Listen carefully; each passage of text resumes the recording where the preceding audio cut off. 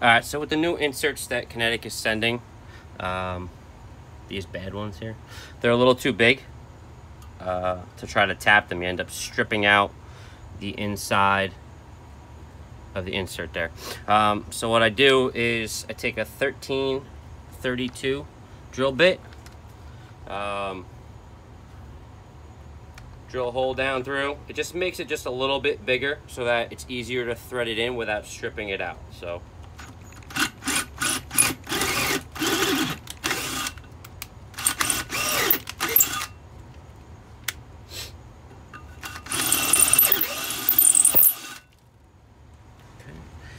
and then take the insert, a little bit of lube,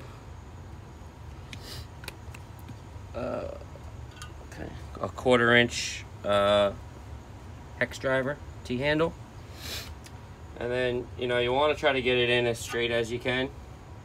Um, but if you can't, you can just kind of get it started. You know, a couple turns, take a look at it, and then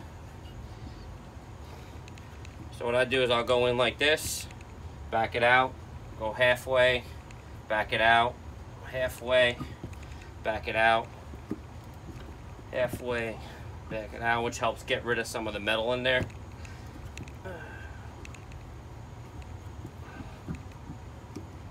And then just till it's flush with the top of the extrusion.